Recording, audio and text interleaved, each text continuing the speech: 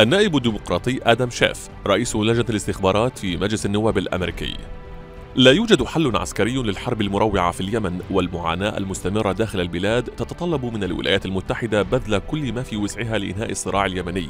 من واجبنا الأخلاقي ومن مصلحة أمننا القومي أن نوقف المساعدات الأمريكية للتحالف السعودي الذي يغذي الحرب في اليمن.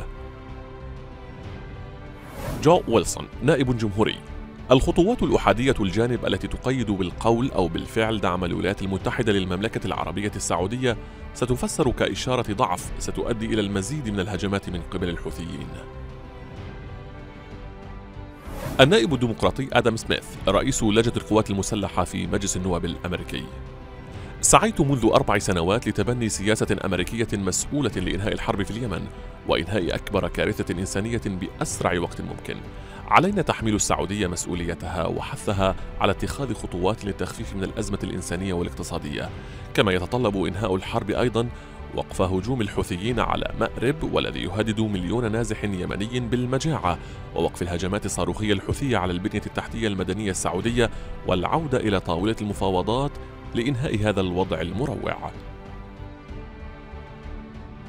النائب الديمقراطي روخانا إن تمرير التعديل على قانون تفويض الدفاع الوطني لحظر الدعم العسكري الأمريكي للسعودية يرسل إشارة واضحة إلى حكومة المملكة العربية السعودية بضرورة إنهاء حرب الاستنزاف في اليمن ودعم التسوية السياسية.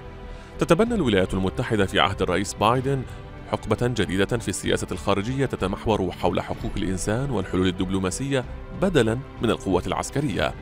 لقد حان الوقت لفعل ما هو صحيح اخلاقيا ومحاسبة المملكة العربية السعودية وإنهاء تواطؤ الولايات المتحدة بشكل كامل مع قصف التحالف الذي تقوده السعودية للمدنيين اليمنيين. إلهان عمر نائبة ديمقراطية بعد ثلاث سنوات من مقتل جمال خاشقجي لا يزال الصحفيون يسجنون ويستمر إسكات المعارضين ولا تزال حقوق المرأة تداس. لقد طال الانتظار على محاسبتنا للنظام السعودي.